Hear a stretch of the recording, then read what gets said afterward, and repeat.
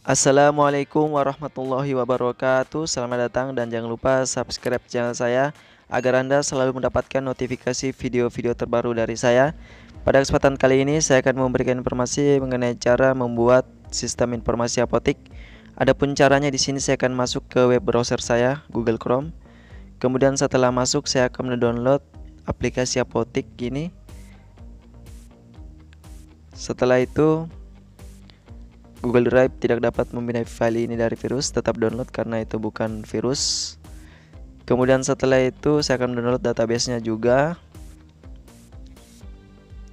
Nanti saya akan sediakan linknya di deskripsi sehingga Anda pun juga bisa mendownload dan Anda juga bisa mencoba-cobanya. Kemudian setelah selesai downloadnya, saya akan show in folder seperti ini ya. Show in folder Kemudian setelah itu saya akan membuatkan foldernya dengan cara new folder. Di situ saya akan tulis apotek. Jadi nama foldernya harus apotek ya. Kemudian saya akan pindahkan ke dalam foldernya itu. Lalu saya ekstrak here ya. Adapun passwordnya www titik stock coding. Kemudian setelah itu oke. Okay tunggu sampai proses ekstrak file-filenya selesai.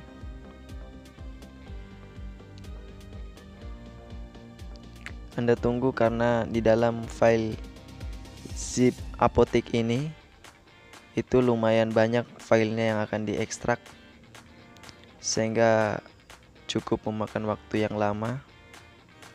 Anda bisa menunggu sambil minum minum kopi terlebih dahulu atau bisa sambil baring-baring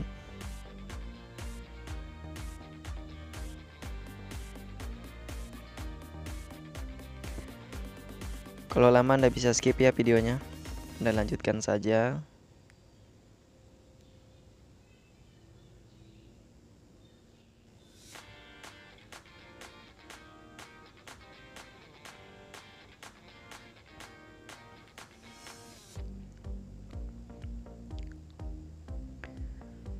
Oke, tinggal sedikit lagi proses ekstraknya selesai.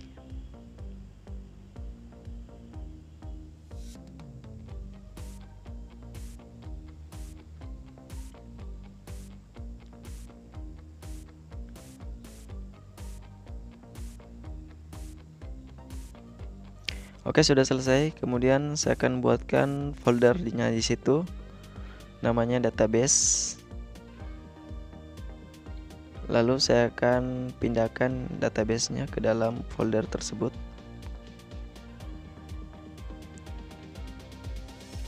Setelah itu saya akan ekstrak ekstrak here ekstrak di sini.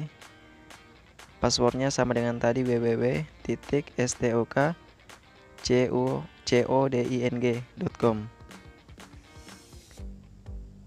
oke ketika sudah selesai saya akan copy itu saya akan masuk ke local disk C sum htdocs lalu saya akan paste ke dalam situ. Tunggu sampai proses copying selesai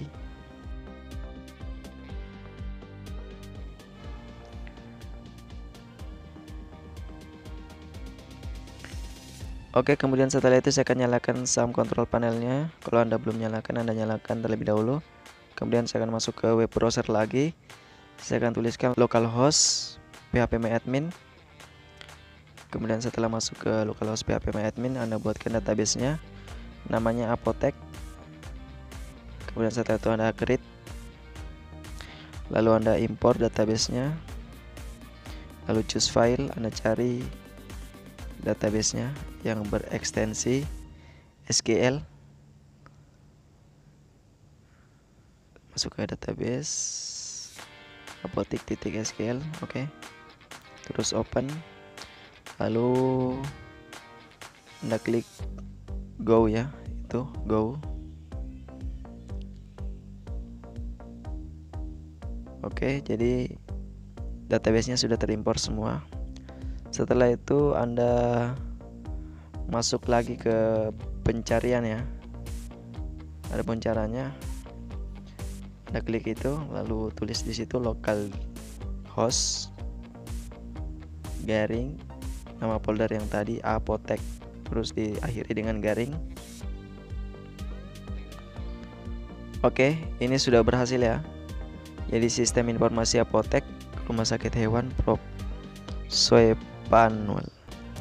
Ada beranda obat, kategori obat, ada pemasok. Jadi Anda bisa coba-coba ya. Anda coba-coba untuk menjalankannya. Kemudian setelah itu jika Anda minat untuk mengembangkannya, Anda bisa mengedit codingannya ada edit codingannya ini bisa digunakan pada usaha apotek Anda ya untuk mengembangkan usaha apotek Anda.